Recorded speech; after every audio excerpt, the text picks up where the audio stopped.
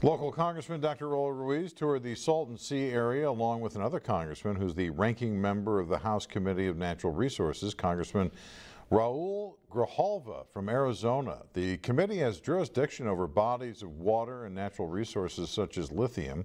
The Assistant Secretary of the U.S. Economic Development Administration was also part of the meeting. Congressman Ruiz says he wanted to make sure that they didn't forget the needs of the local community. This district is the most under-resourced district, the highest poverty level that is facing the biggest public health uh, impact uh, around the Salton Sea, and therefore any federal state investment that comes into promoting the Lithium Valley has to address the social conditions of the local communities.